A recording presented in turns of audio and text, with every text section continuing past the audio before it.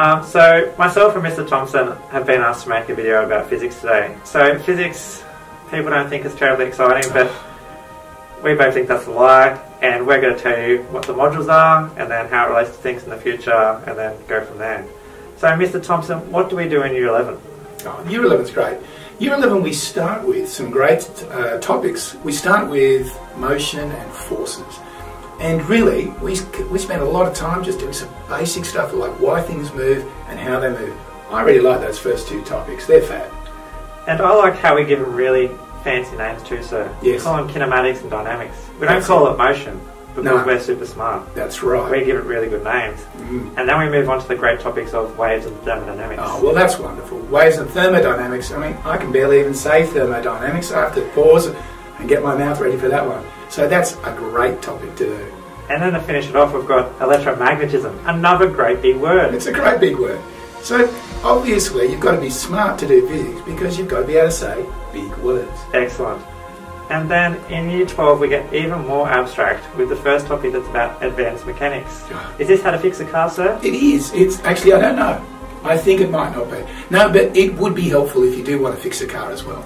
But it's all about what we did in year 11, but just another level up. And then, continuing the theme, we've got another electromagnetism topic. Oh, yes, but this time we're talking about how motors do their thing and all that wonderful stuff. It's much more fun. And then, to continue year 11 theme, we've got the light topic with waves. Now, look behind us. There's some pretty important people up there who did some amazing stuff about light. Who's that? Is that not Albert? I think Albert is there. Oh, wonderful. Some great work by him. And then we move into the last topic, which is the first time we look at the universe, and the topic, the universe to the atom. Yeah. And then we finish it off feeling really smart about ourselves, talking, talking about the standard model of matter and using lots of great words like leptons, quarks, hadrons, bosons. It's just some really riveting stuff. That's right. Bosons, great things. Um, physics is great. In fact, but what I want some people think, as I might have insinuated before, that you just have to be incredibly swotty to like physics. Do you reckon that's true? I don't think that's the case. I think physics is for everyone if you have a reasonable understanding of mathematics. And I think school is a great time to do physics because it is very important for some lots of university courses in the future. What could be some examples that our students could move into, sir? Oh, well, because we're so close to a lot of engineering and mining um, place uh, opportunities, engineering is one of the most important jobs that you can have that really requires a solid mathematical and physics basis. We have lots of our students who are thinking, I'd like to do engineering, and physics is a great way for, to, for them to start off.